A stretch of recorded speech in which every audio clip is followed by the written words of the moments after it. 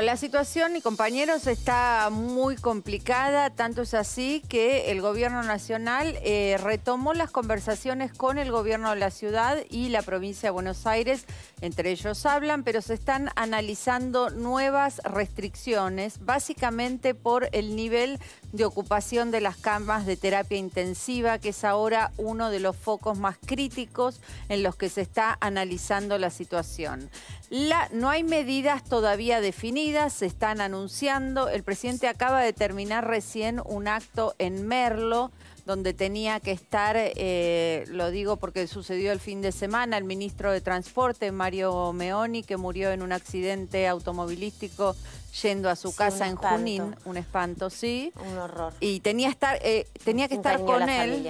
Sí. Eh, en este acto, en Merlo, y te menciono este acto, en su reemplazo fue también Sergio Massa, porque era también uno de sus, de sus pollos, digamos, Mario Meoni de Sergio Massa.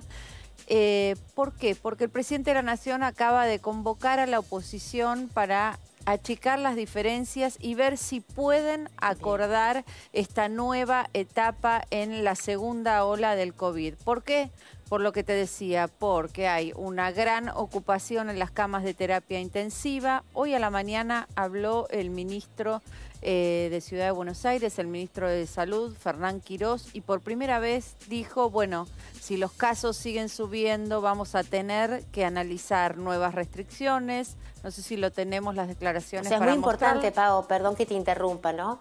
Esto que decís, porque realmente sí eh, tiene eh, nuestro presidente la necesidad o la intención de volver a sentarse y hablar y junto, junto a Horacio Rodríguez Larreta, digamos, armar una nueva forma de encarar este gran problema, este gran conflicto por la cantidad de casos, me parece que, sería muy importante que llegaran a un punto de acuerdo los dos, ¿no? Eh, desde el fin de semana existieron comunicaciones informales, siguieron hablando, Santilli, Santiago Cafiero, hubo comunicaciones, ¿no? La reta con el presidente, pero sí funcionarios de menor rango que mantienen y nunca se rompió, perdón, la eh, comunicación entre los ministros de salud, de ciudad, de provincia y de nación y también los de educación porque reapareció Trota, estuvo con el presidente, están hablando, vuelve a ser el centro el tema de las clases presenciales, porque la reta insiste en que eso no debería tocarse y hay un proyecto que se está trabajando de ver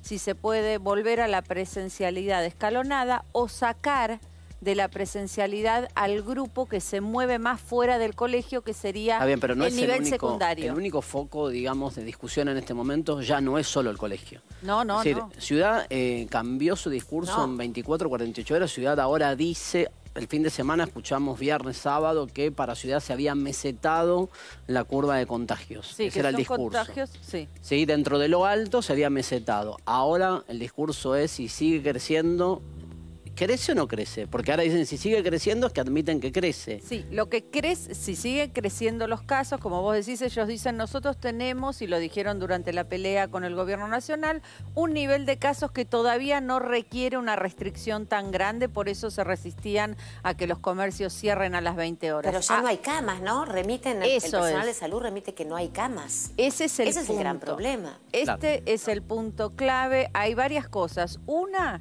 el nivel de ocupación de terapia, de, camas de terapia intensiva y también eh, recordemos que la semana pasada se habló en provincia de Buenos Aires de tener esta disponibilidad entre el sector público y el sector privado primero, postergar las operaciones que no sean de urgencia y por otra parte, tiene prioridad, no importa si sos del sistema público o si sos del sistema privado, según la gravedad se les va a pedir la cama. Eso se había hablado el año pasado y había sido firmado por las prestadoras de servicios eh, de salud privado.